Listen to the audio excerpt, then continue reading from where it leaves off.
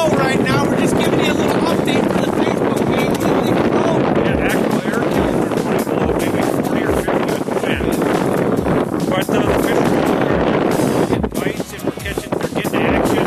Uh, walleyes came up to the hole. Uh, nothing but big right now for your perch, but uh, tell you what, action and fun. We're having a great time.